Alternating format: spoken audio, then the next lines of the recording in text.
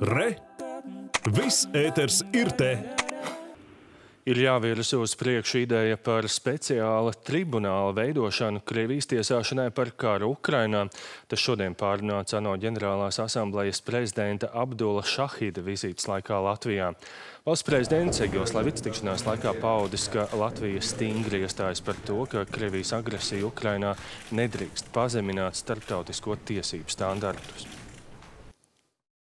Mēs pārunājām arī eh, šo ideju eh, izveidot speciālu tribunālu, eh, kur tiks lemts par šīs agresijas juridisko novērtējumu.